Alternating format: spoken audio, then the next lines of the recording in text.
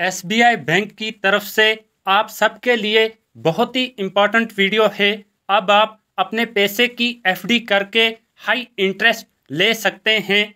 Video में आगे बात करेंगे। SBI बैंक की तरफ़ से किन स्कीमों पर आपको 9.10 परसेंट का मैक्सिमम इंटरेस्ट मिल जाता है? कौन कौन लोग इन स्कीमों से बेनिफिट उठा सकते हैं? वीडियो बहुत इम्पोर्टेंट है। वीडियो को एंड तक वॉच कर लेना बट उससे पहले वीडियो को लाइक कर दें चैनल को सब्सक्राइब कर दें। चलें, वीडियो शुरू करते हैं और सबसे पहले बात करते हैं, कैसे आप एसबीआई बैंक में अपने पैसे की एफडी करके 9 परसेंट से ऊपर का इंटरेस्ट ले सकते हैं। एसबीआई बैंक में मंथली इनकम स्कीम मिल जाती है। अगर आप मंथली इनकम स्कीम में अपने पैसे की एफडी करते हैं, आपके पैसे पर जितना इंटरेस्ट बनेगा, हर महीने आपके सेविंग अकाउंट में डाल दिया जाता है। याद रहे मंथली इनकम स्कीम को आप मिनिमम एक हज़ार से शुरू कर सकते हैं। मैक्सिमम कोई भी लिमिट नहीं है। इस स्कीम को आप तीन साल के लिए, पाँच, सात या फिर दस साल के लिए सेलेक्ट कर सकते हैं।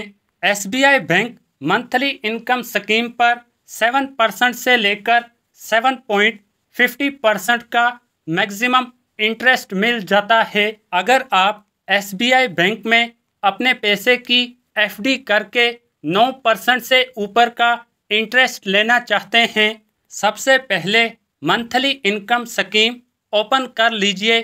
साथ में आपको एसबीआई बैंक में रिक्यूरिंग डिपॉजिट स्कीम मिल जाती है। आपको मंथली इनकम स्कीम और रिक्यूरिंग डिपॉजिट स्कीम ओपन कर लेनी है।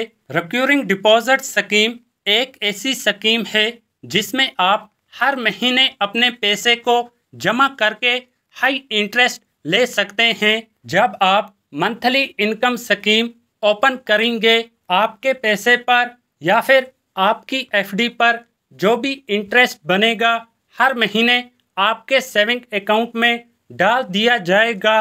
उस पैसे को आप रिक्यूरिंग डिपॉजिट स्कीम में हर महीने जमा करके हाई इंटरेस्ट ले सकते हैं। आपको मंथली इनकम स्कीम से maximum seven point fifty percent का इंटरेस्ट मिलेगा।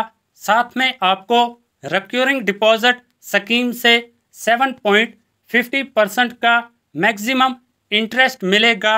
मतलब सेम पैसे को आप अलग अलग स्कीमों में जमा करके बहुत बड़ा बेनिफिट उठा सकते हैं। अगर आप किसी भी बैंक के कस्टमर हैं और बैंकों के fixed deposit recurring deposit, senior citizen saving scheme, PPF scheme या फिर